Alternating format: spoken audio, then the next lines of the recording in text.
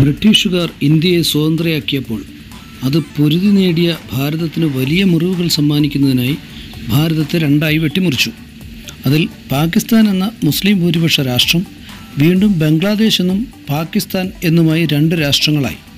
ആയിരത്തി തൊള്ളായിരത്തി നാൽപ്പത്തിയേഴ് ഓഗസ്റ്റ് മാസത്തിലെ ആ കറുത്ത ദിനത്തിൽ ഭാരതത്തെ വെട്ടിമുറിച്ചില്ലായിരുന്നുവെങ്കിൽ ഇന്ത്യ പാകിസ്ഥാൻ ബംഗ്ലാദേശ് എന്നീ മൂന്ന് രാഷ്ട്രങ്ങളുടെയും സ്ഥിതി എന്താകുമായിരുന്നു? ഇന്ന് അതൊരു വിശാല ഭാരതമായി രൂപം കൊണ്ട് ലോകത്തെ തന്നെ വൻകിട ശക്തിയാകുമായിരുന്നു. ഇന്നത്തെ തൽസ്ഥിതി കൂട്ടിച്ചേർത്ത് ഈ രാഷ്ട്രങ്ങളെ ഒന്നാക്കി മാറ്റി ഒരു രാഷ്ട്രം എന്ന നിലയ്ക്ക് വിലയിരുത്തുന്നത് തികച്ചും കൗതുകകരമാണ്. ഭാരതത്തെ രണ്ടാക്കി വിഭജിച്ചിരു വിഭജിച്ചിരുന്നില്ലെങ്കിൽ ഭൂവിസ്തൃതിയുടെയും ജനസംഖ്യയുടെയും കണക്കിൽ മാത്രമല്ലാതെ ഇന്നത്തെ ഇന്ത്യയ്ക്ക് എന്തെങ്കിലും വലിയ നഷ്ടമോ ഗുണമോ ഉണ്ടായിട്ടുണ്ടോ എന്നതും കൗതുകകരമാണ്.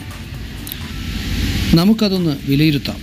അത്തരത്തിൽ കണക്കാക്കുമ്പോൾ വിശാല ഇന്ത്യയും ചൈനയും തമ്മിലുള്ള താരതമ്യ താരതമ്യവും നമുക്ക് കാര്യങ്ങൾ കൂടുതൽ വ്യക്തതയുള്ളതാക്കുന്നതിന് ഉപകരിക്കും. ഇന്ന് ഭൂവിസ്തൃതിയിൽ ലോകത്തിന്റെ തന്നെ വലിയ രാഷ്ട്രങ്ങളായ Russia Canada China U S Brazil Australia എന്നിവയ്ക്കൊക്കെ പിന്നിലായി ഏഴാം സ്ഥാനത്താണ് ഇന്ത്യ ഉള്ളത് ഇന്ത്യയുടെ ഭൂവിസ്തൃതി മുപ്പത്തിരണ്ട് ലക്ഷത്തി എൺപത്തിയേഴായിരത്തി അഞ്ഞൂറ്റി തൊണ്ണൂറ് കിലോമീറ്റർ സ്ക്വയറും പാകിസ്ഥാന്റേത് എട്ട് ലക്ഷത്തി എൺപത്തി ഒന്നായിരത്തി അറുന്നൂറ്റി നാൽപ്പത് കിലോമീറ്റർ സ്ക്വയറും ബംഗ്ലാദേശിന്റേത് ഒരു ലക്ഷത്തി നാൽപ്പത്തെട്ടായിരത്തി നാനൂറ്റി അറുപത് കിലോമീറ്റർ സ്ക്വയറും ആണെന്നിരിക്കെ മൂന്ന് രാഷ്ട്രങ്ങളും ഒന്നിച്ചായിരുന്നുവെങ്കിൽ വിശാല ഭാരതത്തിന്റെ ആകെ വിസ്തൃതി നാൽപ്പത് ലക്ഷത്തി മുന്നൂറ്റി പതിനെട്ട് കിലോമീറ്റർ സ്ക്വയർ ആകുമായിരുന്നു.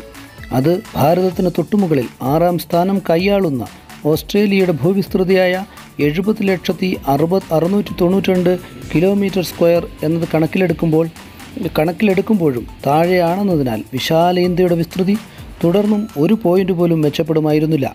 അപ്പോൾ പിന്നെ മൂന്നാം സ്ഥാനത്തുള്ള ചൈനയുടെ ഭൂവിസ്തൃതവുമായി തട്ടിച്ചു നോക്കുന്നതിൽ യാതൊരു അർത്ഥവുമില്ല. മൂന്നാം സ്ഥാനത്തുള്ള ഈ ചൈനയാണ് ആർത്തിമൂത്ത് ഇനിയും ഭൂവിസ്തൃതി വർദ്ധിപ്പിക്കുന്നതിന് അയൽ രാജ്യങ്ങളുടെ അതിരുമാന്തുന്നത് എന്നതും നമ്മൾ ആലോചിക്കേണ്ടതുണ്ട്. ഭൂവിസ്തൃതിയിൽ നിന്നും ജനസംഖ്യയുടെ കാര്യത്തിലേക്ക് വന്നാൽ ഭാരതത്തിന്റെ ജനസംഖ്യ നൂറ്റി നാൽപ്പത്തി മൂന്ന് പോയിന്റ് ഒൻപത് അഞ്ച് കോടിയും പാകിസ്ഥാന്റേത് ഇരുപത്തിനാല് പോയിന്റ് അഞ്ച് രണ്ട് കോടിയും ബംഗ്ലാദേശിന്റേത് പതിനേഴ് പോയിന്റ് നാല് ഏഴ് കോടിയുമാണ്. അങ്ങനെ ചിന്തിക്കുമ്പോൾ ഒരു ഒരുമിച്ച വിശാല ഭാരതത്തിന്റെ ജനസംഖ്യ നിലവിൽ നൂറ്റി എൺപത്തി അഞ്ച് പോയിന്റ് ഒൻപത് നാല് കോടി ആയിരിക്കുകയും ലോകത്തിൽ ജനസംഖ്യയിൽ ഒന്നാമത്തെ രാഷ്ട്രമായി തീരുകയും ചെയ്യുമായിരുന്നു. നിലവിൽ ചൈനയെ മറികടന്ന് ഇന്ത്യ ലോക ജനസംഖ്യയിൽ ഒന്നാം സ്ഥാനത്താണ് എന്നത് ഓർക്കേണ്ടതുണ്ട്. എങ്കിലും കൂടുതൽ വലിയ ഒരു ലോക മാർക്കറ്റായി ഇന്ത്യ മാറുമായിരുന്നു. ഭാരതം ഇപ്പോൾ തന്നെ പാലുൽപ്പന്നങ്ങൾ പൾസസ് ജൂട്ട് എന്നിവയുടെ ഉൽപ്പാദനത്തിൽ ഒന്നാം സ്ഥാനത്താണ്. അരി ഗോതമ്പ് കരിമ്പ് ഗ്രൗണ്ട് നട്ട് പഴം പച്ചക്കറികൾ കോട്ടൺ എന്നിവയുടെ ഉൽപ്പാദനത്തിൽ രണ്ടാം സ്ഥാനത്തുള്ള ഭാരതം ഇവയുടെ ഉൽപ്പാദനത്തിൽ വിശാല ഭാരതം കൂടുതൽ മെച്ചപ്പെട്ട നിലയിലാകുമായിരുന്നു. എങ്കിലും ഇവയുടെ ഉപഭോക്താക്കളും വിശാല ഭാരതത്തിൽ വളരെ കൂടുമെന്നതിനാൽ ഉൽപ്പാദിപ്പിക്കുന്നവ ലോകത്തിന്റെ മറ്റു രാഷ്ട്രങ്ങളിലേക്ക് കയറ്റുമതി ചെയ്യാനുള്ള മിച്ചം ഉണ്ടാകണ ഉണ്ടാകുമായിരുന്നില്ല. അടിസ്ഥാനത്തിലേക്ക് വന്നാൽ ജി ഡി പി അടിസ്ഥാനത്തിൽ വിലയിരുത്തുമ്പോൾ നിലവിൽ ഭാരതത്തിന്റെ ജി ഡി പി നാലായിരത്തി ഒരുന്നൂറ്റി അഞ്ച് പോയിന്റ് മൂന്ന് എട്ട് ബില്യൺ ഡോളറും പാകിസ്ഥാന്റേത് മുന്നൂറ്റി നാൽപ്പത് പോയിന്റ് ആറ് നാല് ബില്യൺ ഡോളറും ബംഗ്ലാദേശിന്റേത് നാനൂറ്റി അൻപത്തി അഞ്ച് ബില്യൺ ഡോളറുമാണെന്നിരിക്കെ വിശാല ഭാരതത്തിന്റേത് നാലായിരത്തി തൊള്ളായിരത്തി ഒന്ന് പോയിന്റ് പൂജ്യം രണ്ട് ബില്യൺ ഡോളറാകുമായിരുന്നു.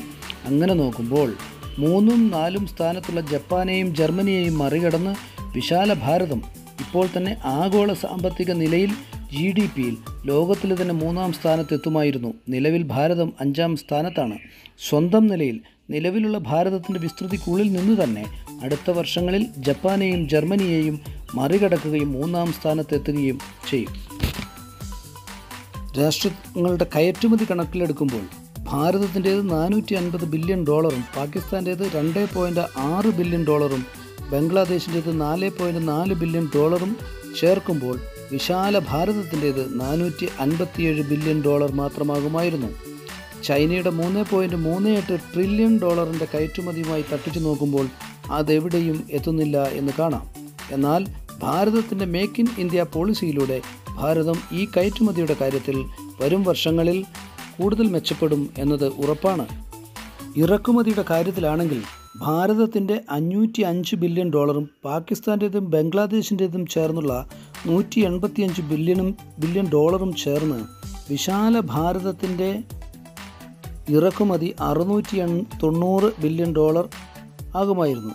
അത് ചൈനയുമായി തട്ടിച്ചു നോക്കുമ്പോൾ ചൈനയുടെ ഇറക്കുമതിയായ രണ്ടായിരത്തി അഞ്ഞൂറ്റി അൻപത്തി ആറ് ബില്യൺ ഡോളറിന്റെ അഞ്ചിലൊന്ന് തുകയാകുമായിരുന്നു. അരി ഉൽപ്പാദനത്തിൽ ഭാരതം പത്തൊമ്പത് കോടി അറുപത്തിരണ്ട് അറുപത്തിരണ്ട് ലക്ഷത്തി നാൽപ്പത്തയ്യായിരത്തി എഴുന്നൂറ് ടണ്ണും പാകിസ്ഥാൻ ഒരു കോടി ഒൻപത് ലക്ഷത്തി എൺപത്തി മൂവായിരത്തി എൺപത്തി ഒന്ന് ടണ്ണും ബംഗ്ലാദേശ് അഞ്ച് കോടി എഴുപത്തി ഒന്ന് ലക്ഷത്തി എൺപത്തൊമ്പതിനായിരത്തി ഒരുന്നൂറ്റി തൊണ്ണൂറ്റി മൂന്ന് ടണ്ണും അരി ഉൽപ്പാദിപ്പിക്കുന്നുണ്ട്.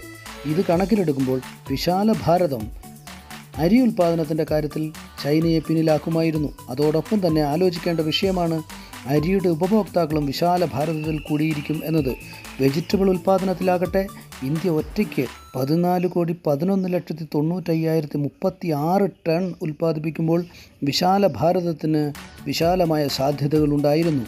ചൈനയുടെ നിലവിലെ പച്ചക്കറി ഉൽപ്പാദനം അൻപത്തി ഒൻപത് കോടി നാൽപ്പത് ലക്ഷത്തി നാൽപ്പത്തൊമ്പതിനായിരത്തി മുന്നൂറ്റി ടണ്ണാണ് എന്നതും നമ്മൾക്ക് ഓർക്കണം. ഗോതമ്പ് ഇന്ത്യ ഒറ്റയ്ക്ക് തന്നെ നൂറ്റിയേഴ് പോയിന്റ് ഏഴ് മില്യൺ ടൺ ഉൽപ്പാദിപ്പിക്കുമ്പോൾ വിശാല ഭാരതത്തിന് നൂറ്റി മുപ്പത്തി അഞ്ച് പോയിന്റ് ഒമ്പത് ടൺ മാത്രമാണ് ഉൽപ്പാദിപ്പിക്കാനാവുക. അത് ചൈനയുടെ നൂറ്റി മുപ്പത്തേഴ് പോയിന്റ് ഏഴ് മില്യൺ ടൺ ഉൽപ്പാദനവുമായി തട്ടിച്ചു നോക്കുമ്പോൾ താഴെയാണ്.